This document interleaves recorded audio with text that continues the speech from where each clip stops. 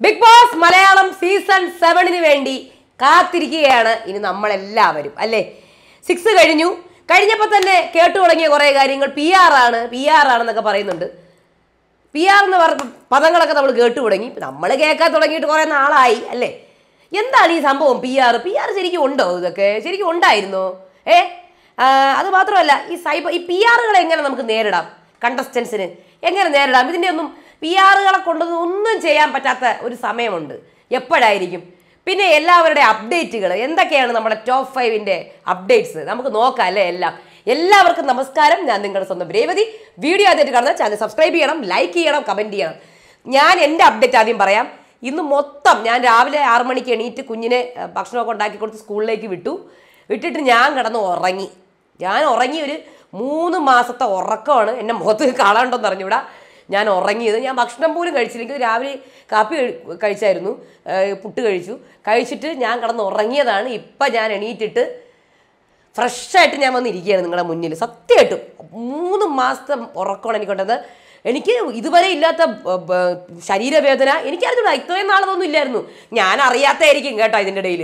ഇവിടെ joint pain എന്തൊക്കെ സമയം. ഇന്ന് തൊട്ട് എക്സസൈസ് ഒക്കെ സ്റ്റാർട്ട് ചെയ്ത് നല്ലൊരു ഡയറ്റിലേക്കൊക്കെ വരണം എന്നാണ് എന്റെ ആഗ്രഹം.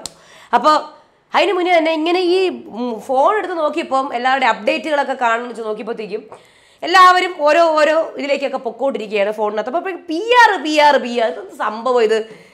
പി ആർ പബ്ലിക് റിലേഷൻ അല്ലേ? എന്താണ് ഈ പി ആർ എന്താണ് സംഭവം? ബിഗ് ബോസിന് നമ്മൾ ആദ്യമായിട്ടാണോ കേൾക്കണത് ഈ പി ആർ എന്ന് പറഞ്ഞ വാക്ക്? ഞാൻ എനിക്ക് തോന്നുന്നു കേൾക്കാൻ തുടങ്ങിയിട്ട് എനിക്കൊന്ന് സീസൺ ത്രീ തൊട്ട് നമ്മൾ കേൾക്കാൻ തുടങ്ങിയ കാര്യമാണ് ഈ പി ആർ പി ആർ അല്ലേ പി ആർ അല്ലേ എന്നും പറഞ്ഞുകൊണ്ട്. ബിഗ് ഇപ്പം കുറേ പേര് ചോദിക്കും ചേച്ചി പി ആർ ഉണ്ടോ? കണ്ടസ്റ്റൻസ് ഒക്കെ പി ആർ എടുത്തിട്ടുണ്ടോ? പി ആർ എടുത്തിട്ടുണ്ടോ എന്ന് വെച്ചാൽ എന്റെ ഒരു ഇതിനകത്ത് ഞാൻ മനസ്സിലാക്കി വെച്ച് നോക്കുമ്പോഴത്തേക്കും എല്ലാവരുടെ കയ്യിലും ഒരു ഒരു അമ്പത് ദിവസം കഴിയുമ്പോൾ ഏകദേശം എല്ലാവരും അവരവരുടെ ബൂസ്റ്റ് ചെയ്യാൻ വേണ്ടി അവരവരെ ബൂസ്റ്റ് ചെയ്യാനും ഒക്കെ വേണ്ടിയിട്ട് അല്ലെങ്കിൽ ചിലപ്പോൾ മറ്റുള്ളവർ പി ആർ എടുക്കും നമ്മൾ താന്നു പോകുമല്ലോ എന്നെല്ലാം വിചാരിച്ചും ഒരുവിധം എല്ലാവരും ഈ ഒരു പബ്ലിക് റിലേഷൻ എടുത്തു വെക്കും. എടുത്തു കഴിഞ്ഞാൽ ഭയങ്കര ഏജൻസിയിലൊന്നും അങ്ങനെയൊന്നും അല്ല ഞാൻ പറഞ്ഞത് ചെയ് ഒരു നമുക്കൊരു ഇൻസ്റ്റാഗ്രാം പേജ് ഉണ്ട് ഇപ്പോൾ അത് ഹാൻഡിൽ ചെയ്ത് നമ്മുടെ ഒരു നമ്മുടെ റീൽസ് നമ്മുടെ പോസ്റ്റുകൾ അതൊക്കെ ബൂസ്റ്റ് ചെയ്യുന്നത് അതും ഒരു പബ്ലിക് റിലേഷൻ തന്നെയാണ് ഒരു പി ആർ തന്നെയാണത്. അല്ലേ? നമുക്ക് വേണ്ടിയിട്ട് വർക്ക് ചെയ്യുന്നു. സംഭവം പറഞ്ഞാൽ ഒരാൾ പി ആർ കൊടുക്കണേക്കാട്ടും നല്ലത് എല്ലാവരും പി ആർ കൊടുത്ത് പറയണം. ഞാനത് പറഞ്ഞിട്ടുണ്ട് നിങ്ങളുടെ അടുത്ത് സത്യമായിട്ടും കാരണം ഒരാൾ മാത്രം പി ആർ കൊടുത്തത് അയാളുടെ പി ആർ മാത്രം ഉണ്ടാവില്ലേ ഇപ്പം എനിക്ക് തോന്നുന്നു ഒരുവിധം എല്ലാവർക്കും പി ആർ ഒക്കെ കൊടുത്ത് തന്നെയാണ് എല്ലാവരും വരുന്നത് എന്നാണ് എന്റെ ഒരു ഫീൽ കാര്യം എനിക്ക് മനസ്സിലായ കാര്യം. കാര്യം പക്ഷേ ഇത് രണ്ട് രീതിയിലുണ്ട് കേട്ടോ. ഒരു ഒന്നാമത്തെ പി ആർ എന്ന് പറഞ്ഞാൽ സ്വന്തം ആൾക്കാരെ ബൂസ്റ്റ് ചെയ്യുക.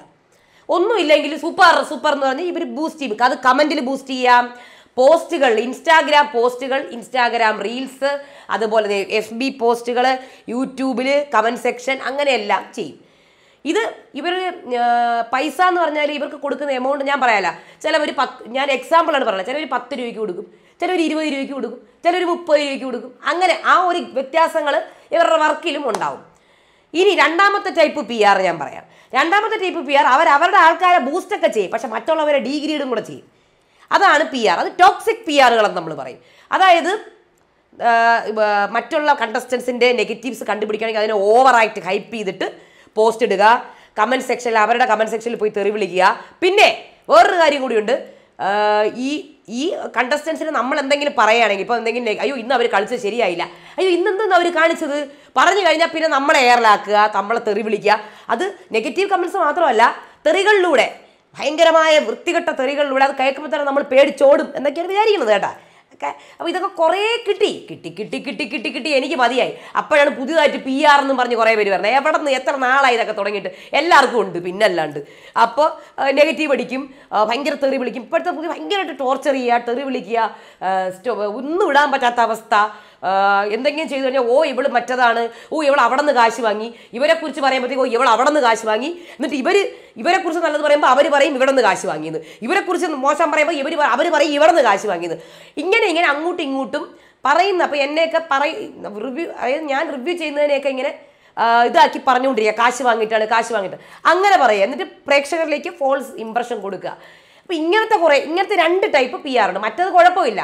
ആദ്യത്തെ ടൈപ്പ് നമ്മുടെ സ്വന്തം ആൾക്കാരെ പൊക്കുക. എത്ര വേണോ പൊക്കിക്കോ. പക്ഷേ ഈ പി ആറുകളെ നമുക്ക് എങ്ങനെ ഹാൻഡിൽ ചെയ്യാം?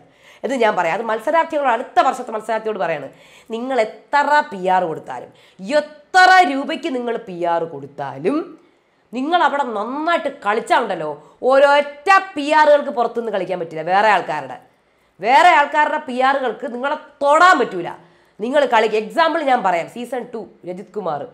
പുള്ളിക്കാരൻ നമുക്ക് നേരെ കയറി ചെന്ന് ബാക്കിയുള്ളവരുടെ കാര്യം പി ആർ ഉണ്ടെന്നൊന്നും എനിക്കറിയില്ല. പക്ഷേ അതുപോലത്തെ ഗെയിമൊക്കെ കളിച്ചു കഴിഞ്ഞാൽ ഉണ്ടല്ല ഒന്നും ലക്ഷങ്ങൾ പി ആർ കൊടുത്തിട്ടും കാര്യമില്ല. കാര്യം നിങ്ങൾ എന്തൊക്കെ ഇരുന്ന് കിണഞ്ഞ് ശ്രമിച്ചാലും ആ ഒരു ഗെയിം പ്രേക്ഷകർ അങ്ങ് ഏറ്റെടുക്കും. പ്രേക്ഷകർ എന്ന് പറഞ്ഞൊരു പി ആർ ഉണ്ട്. പ്രേക്ഷകർ തരുന്ന ഒരു P R public relation public അങ്ങോട്ട് ഏറ്റെടുക്കും. കളിച്ചാൽ വേറെ ആൾക്കാർ എത്ര പി ആർ കൊടുത്ത് വന്നാലും പ്രേക്ഷകരുടെ മുന്നിൽ പിടിച്ചു നിൽക്കാൻ പറ്റൂല. അതാണ് ഏറ്റവും വലിയ പി ആർ സോ അടുത്ത് പോകുന്ന ആൾക്കാർ അടുത്ത സീസണിൽ പോകുന്ന ആൾക്കാർ അതാക്കാൻ നോക്കുക. ടോക്സിക് ആക്കരുത്. അതേ എനിക്ക് പറയാനുള്ളൂ. നിങ്ങൾ ആരെങ്കിലും അടിക്കുകയോ മറ്റേ പൊക്കി കാണിക്കുക ഇങ്ങനത്തെ സംഭവങ്ങളൊക്കെ ചെയ്തു കഴിഞ്ഞിട്ട് അത് മോശമെന്ന് പറഞ്ഞു കഴിഞ്ഞാൽ ആരാടി നീ ഇത് പറയാൻ? നീ ആരാടി അത് പറയാൻ? നന്നായി പോയി അടിച്ചത്. ഇങ്ങനെയൊന്നും പറഞ്ഞുകൊണ്ട് പ്രേക്ഷകർ വരരുത്. അത് മാത്രമേ എനിക്കുള്ളൂ. ബാക്കിയൊക്കെ എന്ത് നന്ന ഗെയിം കളിച്ചാലും നമ്മൾ വി ആർ കൊടുത്തില്ലെങ്കിലും നമ്മൾ അങ്ങോട്ട് കളിച്ച് ഇറങ്ങി കളിച്ചു കഴിഞ്ഞാൽ നമ്മുടെ കൂടെ പ്രേക്ഷകരുണ്ടാവും. അവരാണ് ശരിക്കുമുള്ള പി ആർ നമ്മുടെ പി ആർ ബാക്കിയുള്ളവർ എത്ര ലക്ഷം മുടക്കി കൊണ്ടുവന്നാലും എത്ര പൈസ ഇറക്കിയാലും അവർ എത്ര കമന്റ് ഇട്ടാലും അവർ എത്രയൊക്കെ പറഞ്ഞാലും പ്രേക്ഷകർ അവരെ വന്നങ്ങ് മൂടും. പ്രേക്ഷകരാവണം ഏറ്റവും വലിയ പി ആർ എന്നാണ് ഞാൻ പറയുന്നത് കേട്ടാ. നമ്മൾ കളിച്ചു കഴിഞ്ഞാൽ നമ്മുടെ കൂടെ അവരുണ്ടാവും. കളിച്ചില്ലെങ്കിൽ നമുക്ക് പി ആർ ഒക്കെ വേണ്ടി വരും. സത്യം പറഞ്ഞാൽ. നമ്മളെ പൊക്കാനും ബാക്കിയുള്ളവരെ അറ്റാക്ക് ചെയ്യുക. എന്തെങ്കിലും കുറ്റം പറഞ്ഞാൽ ബാക്കിയുള്ളവരെ പോയി വിളിക്കുക വീട്ടുകാരെ വിളിക്കുക തെറി വിളിക്കുക. അതൊക്കെ. പിന്നെ ആ, ഇത്രയേ ഉള്ളൂ. പിന്നെ ഇപ്പോൾ മറ്റേ ജാസ്മിന്റെയും ജിൻഡുടെയും കാര്യം പറയാമെങ്കിൽ അവർ ലാസ്റ്റ് മാസം അവർ കളിക്കണമായിരുന്നു. അവസാനത്തെ മാസം ഈ രണ്ട് വ്യക്തികളും കളിച്ച് അവർ സത്യം പറഞ്ഞാൽ ആ രണ്ട് മാസത്തെ അവരുടെ ഗെയിമാണ് അവർക്ക് കിട്ടിയ വോട്ട് കേട്ടാ. സത്യമായിട്ടും. രണ്ട് മാസം അവരവിടെ കിടന്ന് കഷ്ടപ്പെട്ട് കളിച്ചതിന്റെ വോട്ട്സാണ് അവർക്കിപ്പോൾ കിട്ടിയിരിക്കുന്നത്. മനസ്സിലായോ? അത് ജാസ്മിന്റെ ചെറിയൊരു ഇത് വന്നത് നെഗറ്റീവ് നെഗറ്റീവ് വന്നത് ലാസ്റ്റ് ആഴ്ച ഒരു നെഗറ്റീവ് വന്നു. അത് അത് ശരിയാണത് നെഗറ്റീവായി അത്. അത് പറയാതിരിക്കാൻ പറ്റാത്തൊരു കാര്യമാണ്. എന്നാലും വളരെ എന്തായാലും അവർ മൂന്ന് പേരും നന്നായിട്ട് തന്നെ കളിച്ചു. പിന്നെ ജാസ്മിന്റെയും നമ്മുടെ ജിൻ ജിൻഡോയുടെയും കാര്യം. അവരെ രണ്ട് മാസം അവർ അത്രമാത്രം കോറിൽ കയറി കളിച്ചത് കൊണ്ട് ആണ് അവരിപ്പോൾ ഇങ്ങനെ നിൽക്കാൻ കാരണം. ഇല്ലെങ്കിൽ പിടിച്ച് നിൽക്കാൻ പറ്റത്തില്ലായിരുന്നു. അവസാന മാസം കൂടി അവർ നല്ല രീതിയിൽ കളിക്കണമായിരുന്നു. കയറി അങ്ങ് കളിക്കണമായിരുന്നു. രണ്ടുപേരും അങ്ങോട്ടും ഇങ്ങോട്ടും കളിച്ചാൽ മതി എന്നേ ഒരു കുഴപ്പമുണ്ടായിരുന്നില്ല. അപ്പോൾ അവസാനത്തെ മാസം ഒന്നും ഉണ്ടായിരുന്നില്ല. നമുക്ക് എന്റർടൈൻമെന്റ് ആയിട്ട് ഒന്നും ആരും കളിച്ചിട്ടില്ല. ഓ പിന്നെ ബാക്കിയുള്ളവരങ്ങ് കളിച്ച് തകർത്ത്. ഒന്നും ഉണ്ടായിരുന്നില്ല. പിന്നെ ഞാനല്ലേ ഇവിടെ ലൈവ് അപ്ഡേറ്റ് വന്നുകൊണ്ടിരിക്കുന്നത്. ഉള്ളതെല്ലാം ഔട്ടായും പോയി. ബാക്കിയുള്ളവരൊക്കെ അങ്ങോട്ടും ഇങ്ങോട്ടും നോക്കിക്കൊണ്ടിരുന്നത് അതുകൊണ്ട് നമുക്കറിയാം. അപ്പോൾ അത് അതിനിപ്പോട്ട് പോട്ടെ ഇനി പറഞ്ഞിട്ട് കാര്യമില്ല. ഇനി സൈബർ അറ്റാക്കുകൾ ഇപ്പം ദാ കഴിഞ്ഞ ദിവസം ഒരു കുട്ടി ആത്മഹത്യ ചെയ്തു. ഇൻഫ്ലുവൻസേഴ്സ് ആണ്. ഇൻഫ്ലുവൻസേഴ്സ് ഇൻസ്റ്റാഗ്രാം ചെയ്യുന്ന ആൾക്കാർ ആൾക്ക്. എനിക്കിപ്പം പറയാനുള്ള ഒരു കാര്യം എന്ന് ഏറ്റവും കൂടുതൽ അറ്റാക്ക് ഓരോ സീസണിലും എനിക്ക് കിട്ടിയിട്ടുണ്ട്. ഈ സീസണിലും എനിക്ക് ഭയങ്കരമായ അറ്റാക്കാണ് കിട്ടിയിട്ടുള്ളത്. ഒരു കാര്യം എനിക്ക് പറയാനുള്ളൂ. എന്തിന് ഇവരുടെയൊക്കെ വായിരിക്കണം കേൾക്കണത് ഇൻസ്റ്റാഗ്രാമിൽ റീൽസ് ഇടുക റെസ്ട്രിക്ട് ചെയ്ത് വെക്കുക. വേറെ പണിയൊന്നുമില്ലേ? കമന്റ് സെക്ഷൻ അത്രേ ഉള്ളൂ. നമ്മളെ ഫോളോ ചെയ്യുന്നവർ അല്ലെങ്കിൽ നമുക്ക് ഫോളോ ചെയ്യുന്നവർക്ക് മാത്രം നമ്മളെ വന്ന് അഭിപ്രായം പറയാം. അങ്ങനത്തെ ഒരു സംഭവം ഇൻസ്റ്റാഗ്രാമിലുണ്ട്. അത് അങ്ങോട്ട് ഓണാക്കി വെക്കുക. എന്തിനു വല്ലവരുടെയും തെറി കേൾക്കുന്നത്. വേറെ പണിയില്ലേ? അത്രേ ഉള്ളൂ. അത്രയും ചെയ്താൽ മതി ഇൻസ്റ്റാഗ്രാമിലുള്ളവർ ഇത് എല്ലാ അതാണ് ചെയ്യേണ്ടത്. നമ്മൾ പിന്നെ വേണമെന്ന് അവർ പോകാൻ പറ. അത്രേ ഉള്ളൂ. നമുക്ക് ഇറങ്ങി കളിക്കണമെങ്കിൽ നമ്മളിതെല്ലാം ഇത് ഇത് നിൽക്കാനൊന്നും പോണില്ല. ഇത് നിൽക്കാൻ പോണില്ല. പിന്നെ പേഴ്സണലായിട്ട് കുറേ പേര് അയക്കും. അത് സത്യം പറഞ്ഞാൽ അത് നിയമപരമായി തന്നെ പോകേണ്ടത് തന്നെയാണ് പേഴ്സണലായിട്ട് വോയിസ് അയക്കുക ഭീഷണിപ്പെടുത്തുക അത് എക്സ്ട്രീം ലെവലാണ് ഞാൻ ഈ കമന്റ് സെക്ഷന്റെ കാര്യമാണ് പറഞ്ഞത്. ഇൻസ്റ്റാഗ്രാമിൽ വരുന്ന ഈ കമന്റുകൾ തെറി കമന്റുകൾ അതൊക്കെ വരണമെങ്കിൽ ജസ്റ്റ് കമന്റ് സെക്ഷൻ റെസ്ട്രിക്റ്റ് ചെയ്യുക ഒരുത്തനും വന്ന് കണ്ട് നമ്മളെ കളിക്കേണ്ട ആവശ്യമില്ല. വേറെ പണിയില്ലേ? ഒന്ന് അതും മനസ്സാ വാച കർമ്മണ അറിയാത്ത കാര്യത്തിന് ആരുടെയൊക്കെയോ അതും ഫാൾസ് ഐഡി വേറെ ഇല്ലാത്ത ഒരു ആളുടെ ഐഡിയിൽ നിന്ന് തെറിയേക്കുക. എന്തൊരവസ്ഥയെന്ന് ആലോചിച്ച് നോക്കിയേ. മറ്റേ എന്റെയൊക്കെ അവസ്ഥ. അതായത് അങ്ങനത്തെ ഒരാളില്ല. ഇല്ലാത്തൊരു ഐഡിയിൽ നിന്ന് ഫുൾ ഫേക്ക് ഐഡിയിൽ നിന്ന് തെറിയേക്കുക ഞാൻ റെസ്ട്രിക്ട് ചെയ്ത് പോകാൻ പറ. അവിടെ ഇരുന്ന് തെറി പറഞ്ഞാൽ മതി സ്വന്തം. അല്ലെങ്കിൽ എന്റെ വീഡിയോ ഒക്കെ എടുത്തോണ്ട് പോയിട്ട് തെറി ഏൽപ്പിക്കുന്നു വേറെ സ്ഥലത്ത് കൊണ്ടുപോയിട്ട് പോവാൻ പറയുന്നേ. വേറെ അടുത്ത കൊല്ലം നോക്കിക്കോ ടോക്സിക് ആവുമ്പോൾ അടുത്ത കൊല്ലം ടോക്സിക് സീസൺ ആണെങ്കിൽ ഒന്നും പറയാൻ പറ്റൂല. പക്ഷെ ഞാൻ പറയും. ഒന്നും മിണ്ടാൻ പറ്റൂല. അടി അയ്യോ അയാൾ അടിച്ചത് ശരിയായില്ല കേട്ടോ നീ ആരടി പറയാൻ അടിച്ചത്? അടിച്ചത് നന്നായി. നമ്മുടെ ആളെ ഒന്നും പറയാൻ പാടില്ല. അയാൾ അടിക്കും എന്ന് പലതും കാണിക്കും. എന്ന് പറഞ്ഞുകൊണ്ട് വരും. ഒക്കെ പിന്നെ ഇനി മത്സരാർത്ഥികളോട് പറയാം അപ്പോൾ ഇതാണ് സൈബർ അറ്റാക്ക്. പോകാൻ പറയുക. അല്ലെങ്കിൽ ഇതിനകത്ത് നോക്കി ഇറങ്ങാൻ നിൽക്കരുത് നിങ്ങൾ. അത്രേ എനിക്ക് പറയാനുള്ളൂ. ഈ ഇൻസ്റ്റാഗ്രാം അല്ലെങ്കിൽ സോഷ്യൽ മീഡിയയിലേക്ക് ഇറങ്ങാൻ നിൽക്കരുത്. നിങ്ങൾക്ക് താങ്ങാൻ പറ്റിയില്ലെങ്കിൽ ഇറങ്ങാൻ നിൽക്കരുത്. ഇത് ഉണ്ടാവും. പക്ഷേ പേഴ്സണലായിട്ട് നമുക്ക് വോയിസ് അയക്കുക ഭീഷണിപ്പെടുത്തുക പേഴ്സണൽ മെസ്സേജ് അതൊരു നിയമപരമായി തന്നെ നേരിടണം. അവരെ നിയമത്തിന്റെ മുന്നിൽ കൊണ്ടുവരണം അതാ ചെയ്യേണ്ടത്. പിന്നെ ഈ കമന്റുകളെ ഞാൻ പറഞ്ഞില്ലേ അത് നമ്മൾ റെസ്ട്രിക്റ്റ് ചെയ്ത് വെക്കുക. അത്രേ എനിക്ക് പറയാനുള്ളൂ. അല്ലാതെ നമുക്ക് ഒരു രക്ഷയില്ല. പിന്നെ പറയാനുള്ളതും ഇനി ഞാൻ എന്താ പറയാൻ വന്ന. ആ അങ്ങനെ നേരിടുക. അത്രേ എനിക്ക് പറയാവുള്ളൂ. അത് നിങ്ങൾ ധൈര്യത്തോടു കൂടി ഒന്നും വിചാരിക്കരുത് വിഷമം വിചാരിക്കരുത് കമന്റ് സെക്ഷൻ ഓഫാക്കി ഇടുക. അപ്പോൾ അതാണ് സൈബർ അറ്റാക്കിന്റെ കാര്യം. പിന്നെ ഓരോരുത്തരുടെ അപ്ഡേറ്റ്സിനെ കുറിച്ച് പറയാം. അയ്യോ വേറെ എന്തോ പറയാമെന്ന് മറന്നുപോയി. ജിൻഡോയുടെ അപ്ഡേറ്റ് ആണെങ്കിൽ ഇപ്പോൾ ഇതുവരെ ഒന്നുമില്ല. പക്ഷേ എന്തായാലും ഒരു ഫാൻസ് മീറ്റപ്പ് ഒക്കെ ഉണ്ടാവും തോന്നുന്നു. അതുപോലെ തന്നെ അർജുന്റെത് ഫാൻസ് മീറ്റപ്പ് നടന്നു. പിന്നെ ജാസ്മിന്റെത് ജാസ്മിന്റെത് കണ്ടില്ലേ? ഒരു റീൽസ് വന്നത്. മ്യൂസിയം പോലീസ് സ്റ്റേഷന്റെ മുന്നിൽ വെച്ചിട്ട് ഒരു റീൽസ് ആയിരുന്നു. എല്ലാം തിരിച്ചു പിടിക്കുകയാണെന്നൊക്കെ. എല്ലാം തിരിച്ചു പിടിക്കട്ടെ. നോക്കട്ടെ അത് അവരുടെ കാര്യം അവരുടെ പാടായി. ഇനി ഋഷിയുടെ കാര്യം അൻസിബയുടെ ബർത്ത്ഡേ പാർട്ടിക്ക് നിൽക്കുന്ന ഋഷി അഭിഷേക് റിയാസിനുള്ള മറുപടി ഏറ്റാക്ക് അഭിഷേക് വന്നിട്ടുള്ള റീൽസ് ഇതൊക്കെയാണ് ഉള്ളത്. അവരുടെ അപ്ഡേറ്റുകളൊക്കെ ഇതൊക്കെയാണ്. അപ്പം ഇനിയും അടുത്ത കൊല്ലവും ഇതുപോലെ തന്നെ ഉണ്ടാവും. ആ അടുത്ത കൊല്ലവും ഇതേപോലെ തന്നെ പിന്നെ കണ്ടസ്റ്റൻസിനോട് പത്ത് അയ്യോ കണ്ടസ്റ്റൻസിനോട് കുറച്ച് കാര്യങ്ങൾ പറയണം. ഇപ്പം ഇറങ്ങിയ ആൾക്കാരോട് എനിക്ക് പറയാനുള്ളത് നിങ്ങൾ നിങ്ങളുടെ ഫാൻസുകാർ പറയണത് മാത്രം കേൾക്കല്ലേ ഞാൻ ഞാൻ എന്റെ ആദ്യത്തെ ഉപദേശമാണ്. ഫാൻസുകാർ മാത്രം പറയുന്നതോ ആർമിക്കാർ ആദ്യം ഓ അണ്ണാ നിങ്ങൾ സൂപ്പറാണ് അണ്ണാ. ചേച്ചി നിങ്ങൾ ഭയങ്കരമാണ് കേട്ടോ. ഓ നിങ്ങളെ സൗന്ദര്യം കണ്ട് ഞാൻ ഞെട്ടിപ്പോയി. എന്തൊരു ഭംഗി. ഇതൊക്കെ ആയിരിക്കും അവർ പറയണം പിന്നെ നിങ്ങൾ ചെയ്യുന്ന എല്ലാത്തിനെയും എല്ലാ തെറ്റിനെയും ശരീരനെയും ഒക്കെ പോസിറ്റീവായിട്ട് പറയുന്ന ആൾക്കാരായിരിക്കും നിങ്ങളുടെ ഫാൻസുകാർ അല്ലെങ്കിൽ ആർമിക്കാർ അവർ പറയുന്ന കേട്ടിട്ട് അവരെ കൂടെ നിന്നോളൂ. പക്ഷേ നിങ്ങൾ ശരിക്കും കേൾക്കേണ്ടത് പ്രേക്ഷകരെയാണ്. അവരായിരിക്കും നിങ്ങളെ ഒറിജിനലായിട്ട് നിങ്ങളെ എങ്ങനെയാണ് നിങ്ങൾ കളിച്ചത് എങ്ങനെയാണ് അവിടെ നിന്നതെന്ന് അവരായിരിക്കും പറയുന്നത്. ആദ്യം അവരെ കാണുക. അവരെ അവർ പറയുന്നത് ശ്രദ്ധിക്കുക. അവരെ മനസ്സിലാക്കുക. അല്ലാണ്ട് ഫാൻസുകാർ ആർമിക്കാരൊക്കെ അടുത്ത് കൊല്ലാകുമ്പോൾ വേറെ ആൾക്കാരുടെ പുറകെ പോകും. അപ്പോൾ നിങ്ങൾ അവിടെ ഇങ്ങനെ ഇരിക്കും. ആരും ഇല്ലാണ്ട് മനസ്സിലായോ? ഇപ്പോൾ നിങ്ങൾ അവരെ നോക്കിക്കോളും. പക്ഷേ പ്രേക്ഷകരെ ഒറ്റും വിട്ടുകളയരുത്.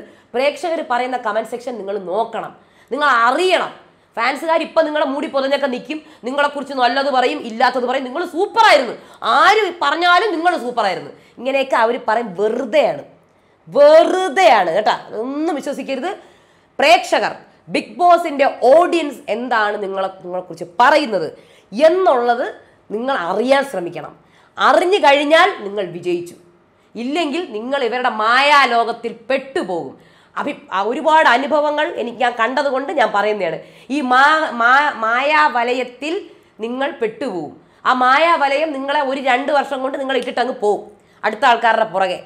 കാര്യം അടുത്ത വർഷം ഇതിനെക്കാട്ടിയും കളിക്കാർ ഇതിനെക്കാട്ടി ഭംഗിയുള്ള ആൾ ഇതിനെക്കാട്ടി പൊക്കമുള്ള ആൾ ഇതിനെക്കാട്ടിയും കോംബോകൾ ക്യൂട്ട് കോംബോ ഭംഗിയുള്ള കോംബോ ഒക്കെ വരും. അവരുടെ പുറകെ അവർ പോവും. അത് അപ്പോൾ നിങ്ങൾ അവിടെ ഒന്നും ഇല്ലാണ്ട്. അപ്പം നിങ്ങളുടെ കൂടെ നിൽക്കുക അപ്പോൾ ഇതിന്റെ പ്രേക്ഷകർ പ്രേക്ഷകർ ഒരിക്കലും പോകത്തില്ല. അവരുണ്ടാവും അവിടെ. അപ്പോൾ അവർ പറയുന്നതും കൂടെ മനസ്സിലാക്കി വേണം നിങ്ങൾ മുന്നോട്ട് പോകാൻ കാര്യം അവരായിരിക്കും നിങ്ങളെ ശരിക്കും മനസ്സിലാക്കിയ ആൾക്കാർ അവർ നിങ്ങൾ തെറ്റുകൾ പറഞ്ഞു തരുന്ന ആൾക്കാരായിരിക്കും നിങ്ങളെ സത്യമായിട്ടും. നിങ്ങളെക്കുറിച്ച് അറ്റാക്ക് ചെയ്യുന്ന ആൾക്കാരല്ല കേട്ടോ പറഞ്ഞത്. നിങ്ങളെ കറക്റ്റായിട്ട് പറയുന്നത് അവർ മാത്രമേ ഉണ്ടാവുള്ളൂ. അതായത് ആർമിക്കാർ ഫാൻസുകാരും ഒക്കെ ഭയങ്കരമായിട്ട് പൊക്കി പൊക്കി അടിക്കുക അല്ലാണ്ട് അവർ നിങ്ങൾ കറക്റ്റായിട്ട് നിങ്ങളെ ഇതാക്കത്തില്ല. പ്രേക്ഷകരെ കൂടെ കണക്ട് ചെയ്യാൻ ശ്രമിക്കുക.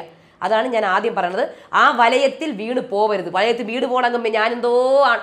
അതൊക്കെ ചുമ്മാ ഗിമിക്കാണ്. ഇത് ഗിമിക്കാണ്. ആ ഗിമിക് വേൾഡിലേക്ക് പോവരുതേ. ഗിമിക് വേൾഡാണത്. ഒരുപാട് പേര് പോയി വഴിതെറ്റി അങ്ങ് പോയിട്ടുണ്ട്. ആ വഴി. ആ വഴി പോയിട്ടുണ്ട് പിന്നെ വന്നിട്ടില്ല. അതുകൊണ്ടാണ് ഞാൻ പറഞ്ഞത്.